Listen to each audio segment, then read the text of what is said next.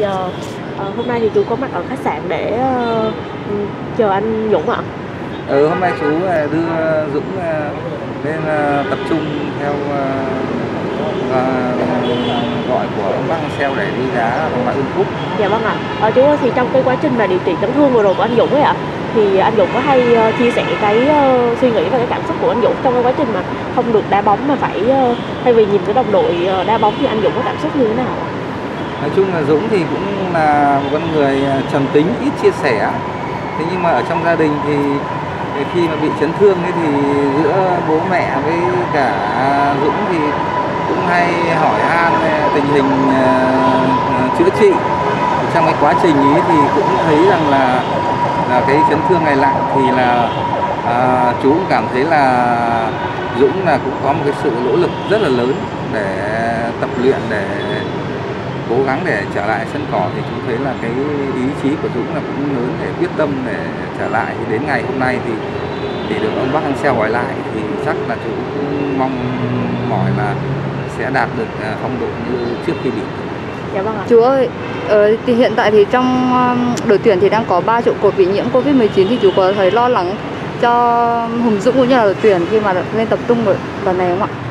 Đến giờ phút này tập trung rồi mà đến ngày 27 đá mà bây giờ vẫn có 3 ca bị thì, thì chú cũng rất là lo lắng vì sợ ảnh hưởng đến uh, các cầu thủ khác vì là ba cầu thủ này toàn cầu thủ trụ cột. Thế bây giờ lại sang cái đất nước uh, này người ta làm rất chặt về cái phòng dịch. Thế chú cũng sợ là không không nhập cảnh được như cái trường hợp trước đây của Dũng thì là chú sợ là đội tuyển mình sẽ có sự ảnh hưởng tới cái trận đấu sắp tới. Ờ, trước ngày mà anh Hùng Dũng lên đội tuyển trở lại đội tuyển thì ờ, chú có những cái lời động viên hay dặn dò gì anh Hùng Dũng ạ? Nói chung là khi đã là cầu thủ mà được à, gọi đến đội tuyển làm à, à, việc cho đội tuyển quốc gia đấy là cái vinh dự của cầu thủ vẫn và gia đình.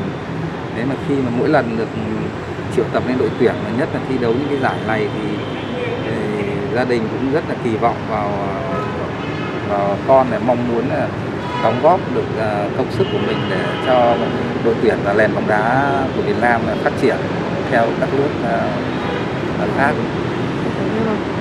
Lần trước thì Dũng không may vì cái hộ chiếu nên là không thể tham dự cùng các đồng đội sang Singapore ấy. thì cái lần này khi được triệu tập trở lại thì cái tâm trạng của Dũng có gì thay đổi không anh? À, Dũng. Cái ờ, lần trước thì làm cho Dũng cũng ờ, cũng buồn, cũng thất vọng, thế cũng kể cả gia đình cũng thế. Đã thế lại cộng thêm nữa là à, cái kỳ AFF vừa rồi là không đạt được à, ừ.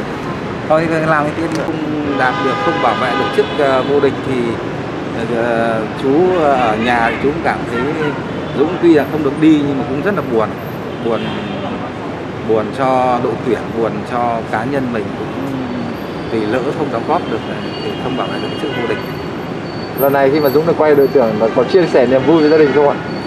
À, Dũng thì cũng rất là háo hức vì là 8 tháng nay rồi là ở nhà dưỡng thương thế nhìn các bạn thi đấu thì cũng không được thi đấu đợt AFF vừa rồi thì đợt này chú thấy là Dũng rất là háo hức và mong chờ để cố gắng thể hiện à, trong mó đội tuyển để làm nên một cái gì đó cho đội tuyển Hôm nay chú chia sẻ lý do vì sao mà đến tận à, chú đến tận khách sạn này không?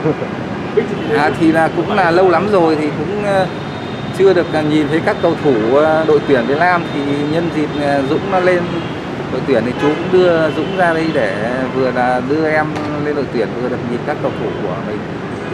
Họ, Vâng, họ tên chú là gì chú cháu xin lại vậy? Cái gì? Họ tên đầy đủ của chú ấy. Chú là Đỗ Huy Toàn. Đỗ Huy Toàn. Vâng.